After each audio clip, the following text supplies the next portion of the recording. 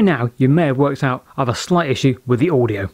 It turns out if the switch on the back of the mic gets between these two options, it chooses neither. So the first minute or so of this video, you're gonna have to listen to me narrate. Anyway, you join me today on my own covering the Cranleigh branch line. From here, Christ's Hospital and its abandoned platforms up to Guildford. Rebecca is off gallivanting with 50% of the All The Stations team. I'll leave you to guess which half of that team. So, welcome to Every Disused Station number 22. My first task today was to get to those platforms, but it seemed my luck was out, as this section of the cycle route number 22 was closed today for repairs. So, let's head on up to Slinfold and see what else we can find along the line.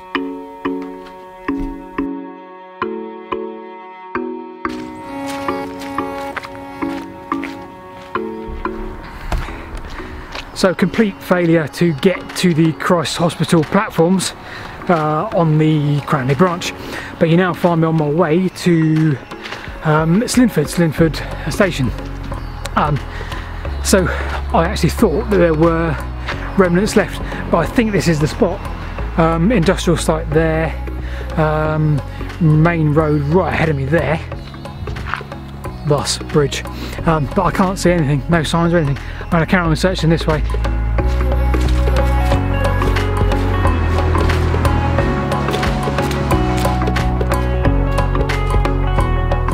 So absolutely no sign of um, Slinfold, which I, I thought there was.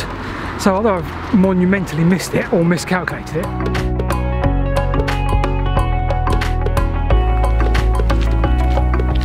So no sign of um, Slinfold station. Um, I may have monumentally missed it, but I'm going to claim it as a tick anyway. Because um, I'm sure it's south of the um, bridge, or south of that road, but um, no sign of it whatsoever.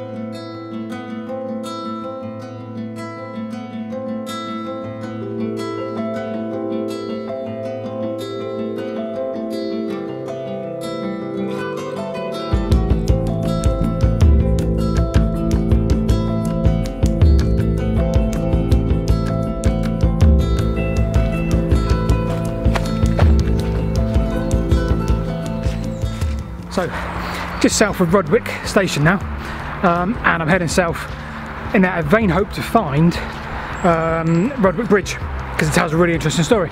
But I've got a horrible feeling uh, we're not going to make it there because I think, as per that sign, um, they're doing some works and then maybe that, that sort of stretch of line is closed.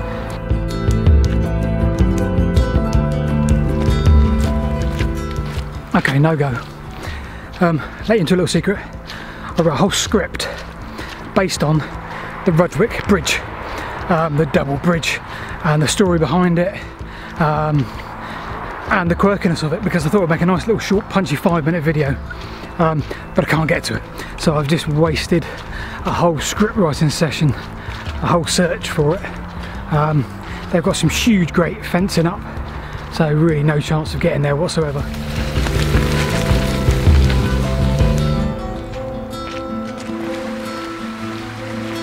Whilst I'm on my way to Baynard, I think it's Baynard, Baynard Tunnel, I'll tell you the story of Rudgwick Bridge and why it was um, double height or double double bridged, is that the right word?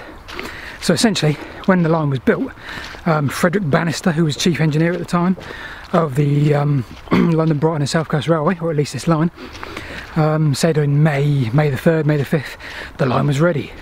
Um, the Board of Trade came along and inspected it um, and oh, what's his name? Somebody Yolland, um, who was a bit of a hero at the time because he campaigned for better railway safety.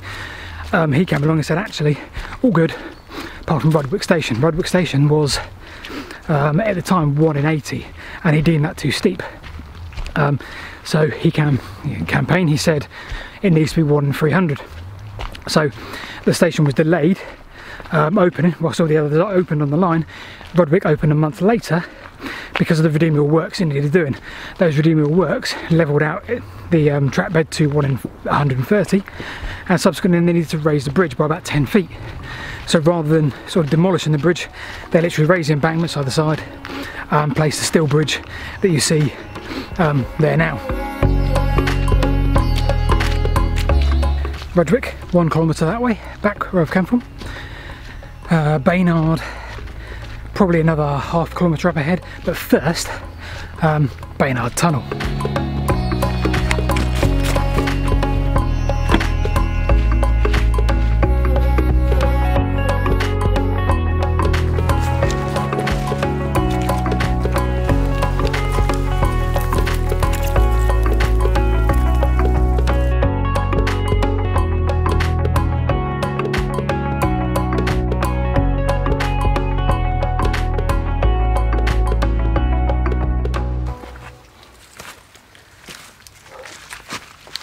Trouble with taking pictures inside the tunnels this time of year, it tends to be really, really misty or foggy or whatever, and the torch, being so bright, lights up every little raindrop or mist droplet. So it becomes very difficult to take a picture of the actual tunnel walls itself. But nevertheless, we'll see what um, they came out like when we get home. Baynard Tunnel, tick.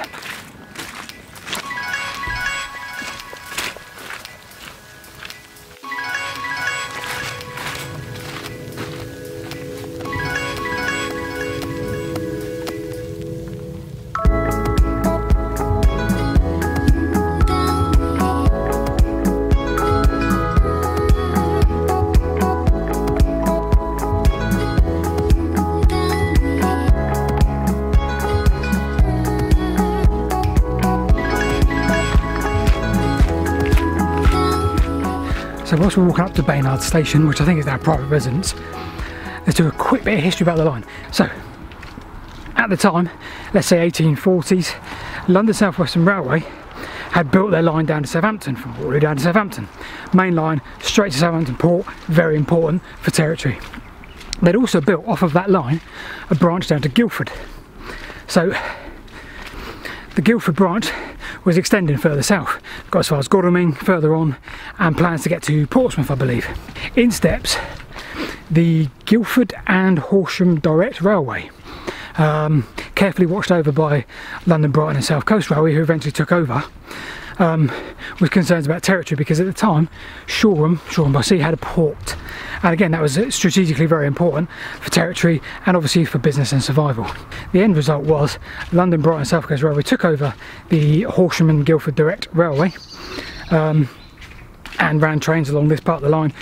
They were forever, at least until grouping, um, arguing about access to Guildford, which was obviously predominantly run by London South Western Railway.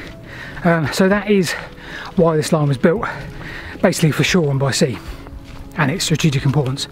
So we're now coming up to um, Baynard's Holt, and we have a nose.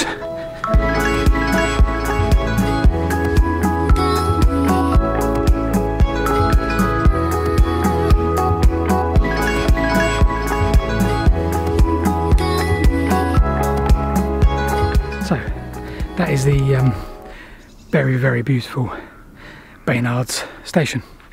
Um, restored between now and 30 years ago by the current owners who purchased it 30 years ago when it was in quite a derelict state. Um, but this station was only open because of a local reverend who paid the company or gave the company his land at a reduced rate in order that they would put a station here. Um, anyway, um, next up I think is Cranleigh. Um, Cranley, original, originally spelt C-R-A-N-L-E-Y, um, changed within two or three years because of the confusion with Crawley. Um, probably also may not be the case, but probably also on London, Brighton and South Coast Railway originally, at least before grouping. Um, not sure.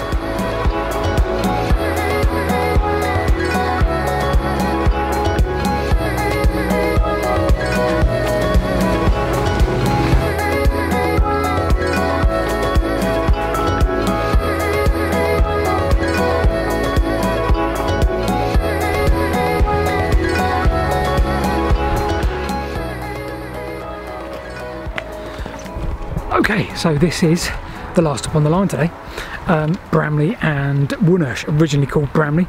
They added the Wonersh um, 23 years later in 1888. Um, originally single track, added a second platform, second uh, loop line in 1876. Um, also interesting here, there was a um, incident in the Second World War when a train, I think heading north out of here, was bombed they went to bomb the line, they hit the train.